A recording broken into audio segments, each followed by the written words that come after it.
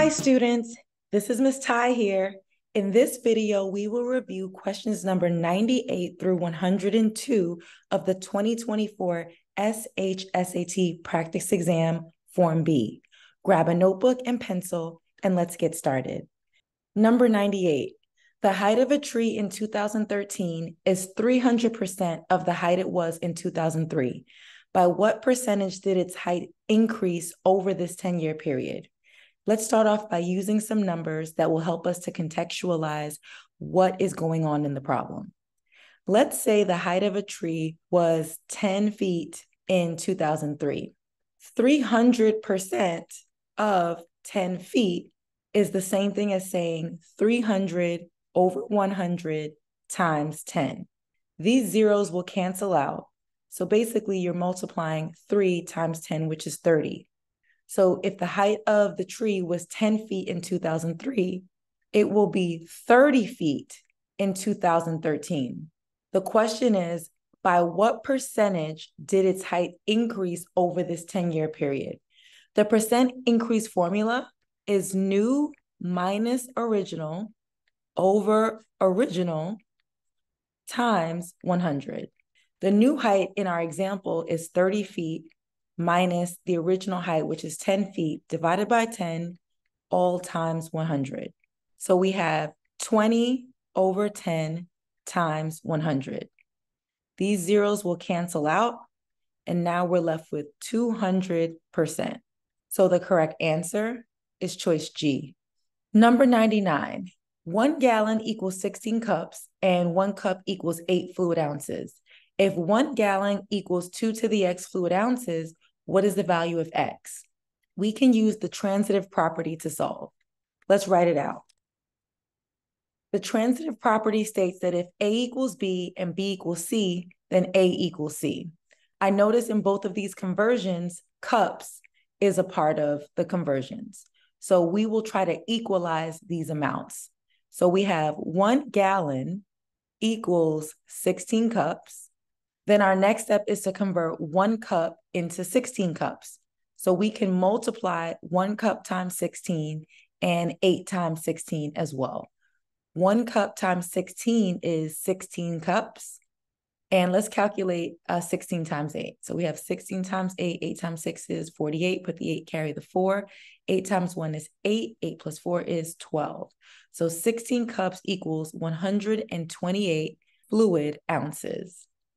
According to the transitive property, if A equals B and B equals C, then we can get rid of the middleman and let A equal to C. So since one gallon equals 16 cups and 16 cups equals 128 fluid ounces, we know that one gallon equals 128 fluid ounces.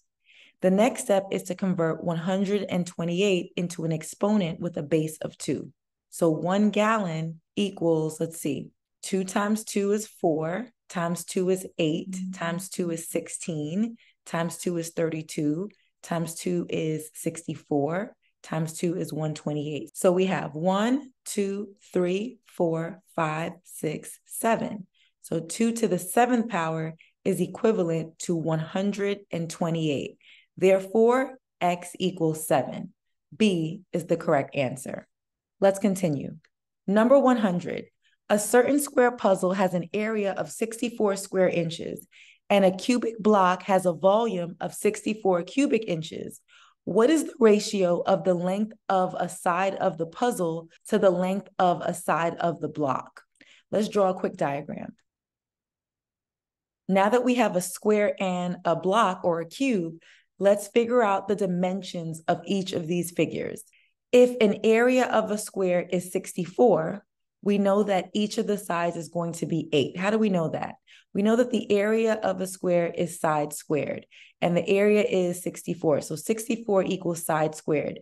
The opposite or inverse of squaring something is to find the square root. So by finding the square root of both sides, we know that the square root of 64 is 8 inches. So 8 inches will be the sides of the square. For the cubic block, the volume is 64 cubic inches. So the volume of a cube is S cubed. So we know that 64 equals S cubed.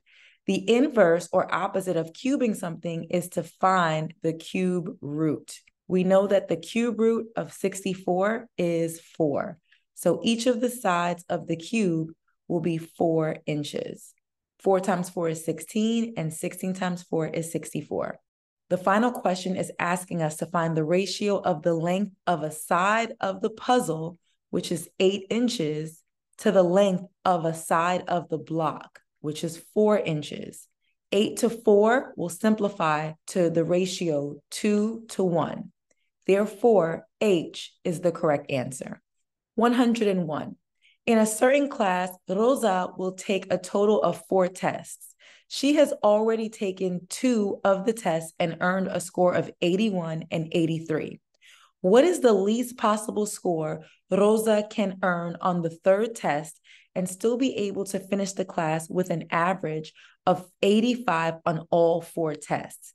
Assume that test scores can range from 0 to 100. Rosa's goal average is 85.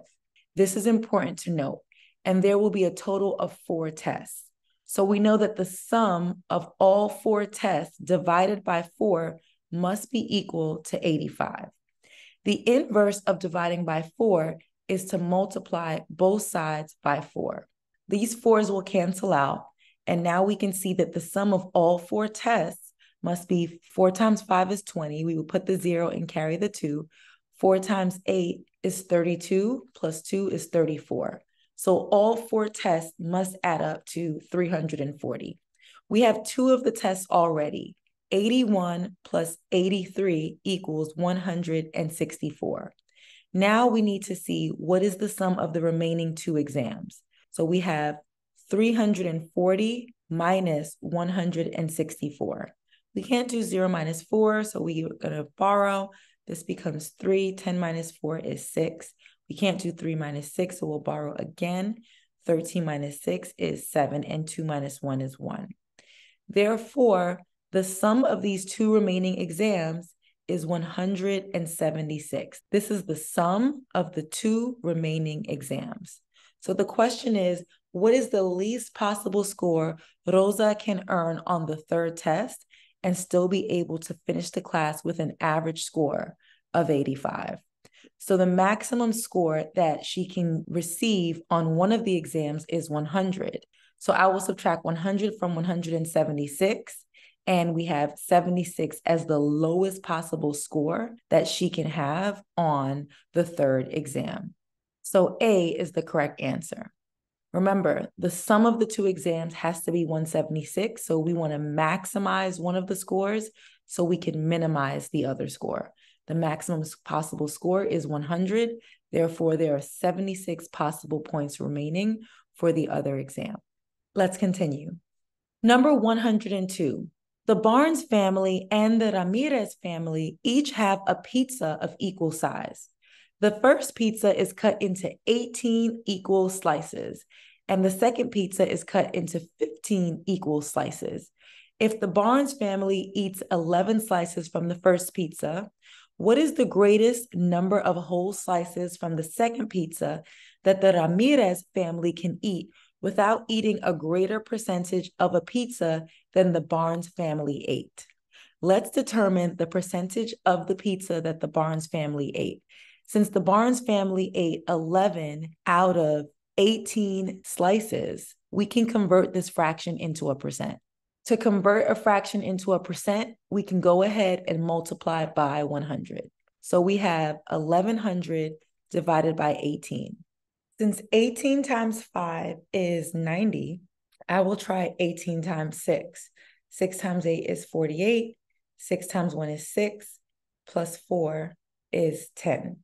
So we have 108 for 18 times 6. So I know that 110 divided by 18 is going to be 6 with a remainder of 2. And 20 divided by 18 goes in one time with a remainder of 2. So we have 61 and 2 over 18, which is the percentage. So we can simplify that into 61 and 1 ninth percent. If you guys recall from one of our other videos, one ninth is the same thing as 0.1 repeating. So that's another way we can take a look at this percentage. So approximately the Barnes family ate 61% of the first pizza. So the second pizza is cut into 15 slices, and our goal is to figure out what is the biggest number of slices expressed as a percent that is still going to be less than 61%. I know that the 50% mark would be at 7.5. So we want to go a little bit higher than that. So I would like to take a look at 8 out of 15 and 9 out of 15 to figure out which one of these is still less than 61.1%. 9 out of 15 is easier for me because we can simply just divide both the numerator and denominator by 3. 9 divided by 3 is 3. 15 divided by 3 is 5. So we now have 3 out of 5, which is 60%. So that actually looks like the best possible choice here. So if the Ramirez family eats nine slices, this amount will still be less than 61.1%. So H is the correct answer. If you learned something in this video, please go ahead and like, comment, share, and subscribe, and I'll see you in the next video.